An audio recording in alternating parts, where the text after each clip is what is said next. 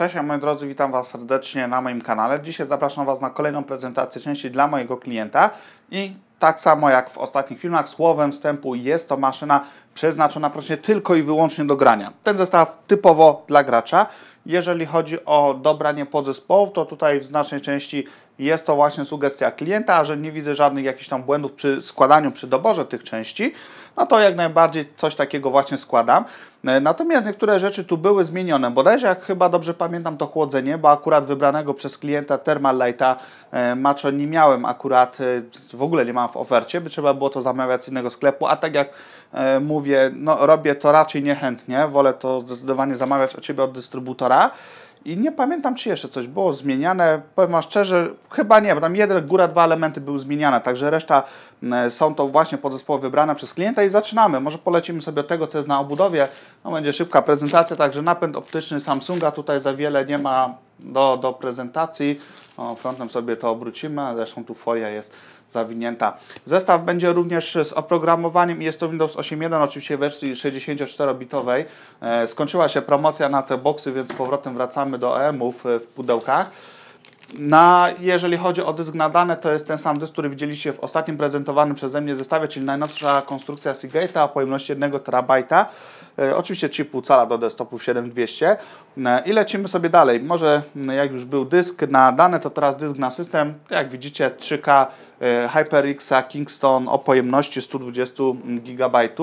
E, lecimy sobie, może to odłożymy na górę z procesorem jako zestaw dla gracza, nie będzie tutaj na tym nic więcej wykonywane z zastosowań profesjonalnych, no to mamy piątka 4690 z możliwością podkręcania, a żeby taka możliwość była, to oczywiście należy również zaopatrzyć się w odpowiednie chłodzenie, no bo to jest podstawa w tym momencie przy OC. Jest to Grandis, e, konstrukcja Silentium PC, konstrukcja dwuwieżowa, stosunkowo wydajna, a jednocześnie w miarę niedroga.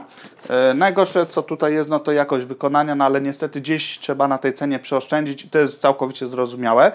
E, może pokażę Wam teraz pamięci te pamięci już widzieliście, słuchajcie, niejedno, niejednokrotnie chyba bodajże. E, G-Skille Trident X e, o pojemności 8 GB, tylko tak patrzę, czy tutaj gdzieś pisze. Wiecie co? Powiem tak.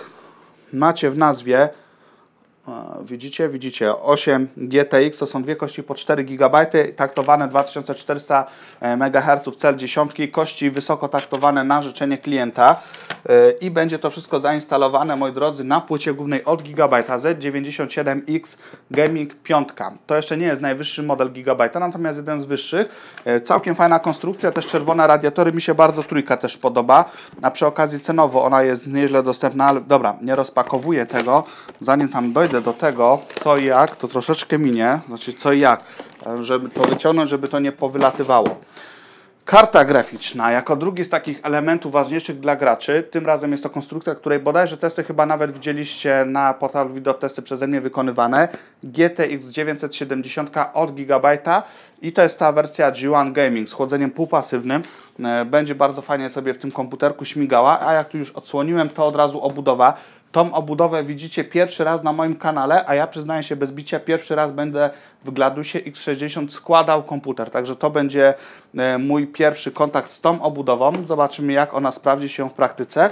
I jak już przy obudowie jestem, to zanim przejdziemy sobie do ostatniego elementu, ale nie mniej ważnego jak poprzednie, czyli do zasilacza, dodatkowo zostało tutaj dokupione dwa wentylatory, które zainstaluję no, prawdopodobnie na topie po prostu e, tej obudowy Mistrale 140 i które pomogą tutaj w wentylacji całego e, zestawu. Wentylatory stosunkowo ciche, bez problemu sobie tutaj będą śmigały.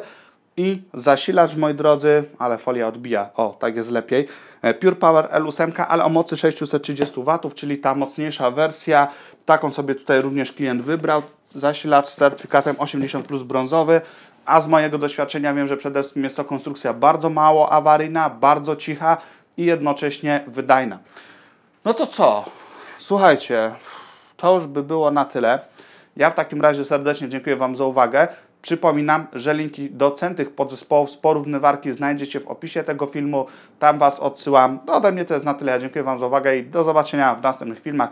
No oczywiście również przy okazji składania tych komputerów. Cześć, hej!